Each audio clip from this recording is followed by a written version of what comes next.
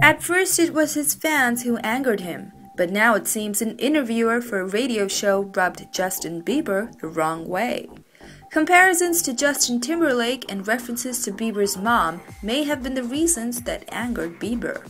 I hope you take this as a compliment, stated the interviewer. When I heard Boyfriend for the very first time, I thought it was Justin Timberlake's single. Justin Bieber, who was far from pleased on hearing that, responded by saying, Man, that's crazy because our voices sound nothing alike.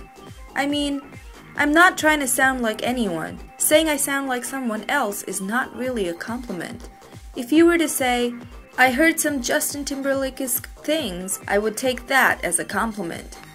But this reaction was nothing compared to what happened next. When the radio host joked that One Direction's Harry Styles might end up seducing Bieber's mom, given his penchant for older women, Bieber blew a fuse. I don't think you should worry about me and my mom with Harry Styles, the 18 year old sensation said. Worry about your mom, bro.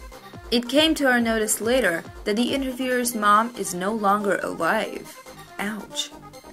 So tell us what you think about this incident, people. Do you believe Bieber was justified in getting angry? Let us know.